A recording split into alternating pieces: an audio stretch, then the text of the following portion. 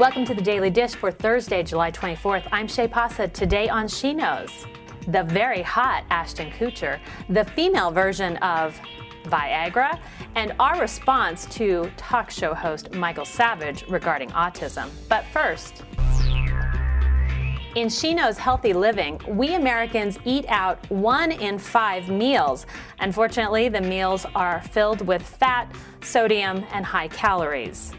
Some researchers suggest that the increased frequency of eating out is contributing to the rise in obesity. So, how can you enjoy a night out without hurting your health? And for those vain among us, how we look?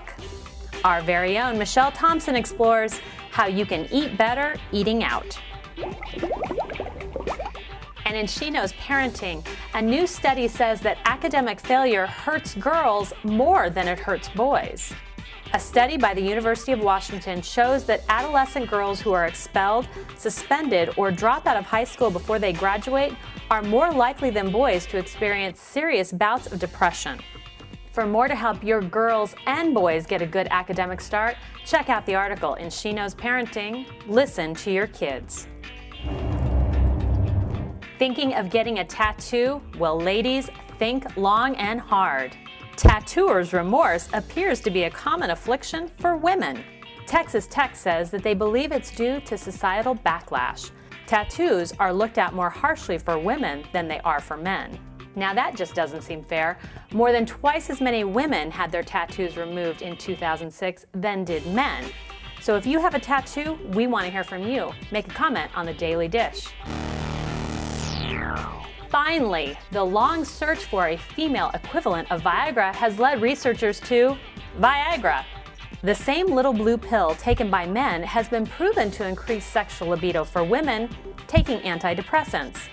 The study is of great importance to both the pharmaceutical industry, which hopes to increase sales, and to women whose sex lives have waned due to treatment for depression. And that's just enough to get you depressed. Michael Savage, conservative radio talk show host, is getting some heat for these comments. Now, you want me to tell you my opinion on autism since I'm not talking about autism? A fraud, a racket. You know what autism is?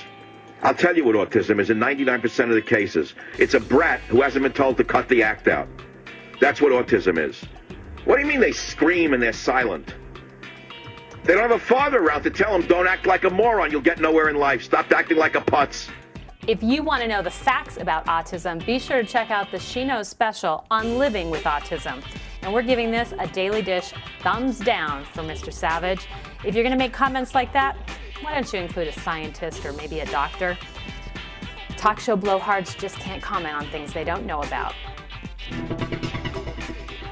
And in lighter topics, don't miss the She Knows interview with the very hot Ashton Kutcher. Our very own Joel Amos caught up with him to discuss the latest on his career and what things are like around the Demi Ashton household. That's it for us. Be sure to join us again tomorrow where we serve up more fun, fabulous information that only she knows. I'm Shay Pausa. I'll see you then. Wardrobe courtesy of Delirious Designs beauty, comfort, and attitude for the individual woman. Thanks for watching She Knows TV. Look for more of the Daily Dish at sheknows.com.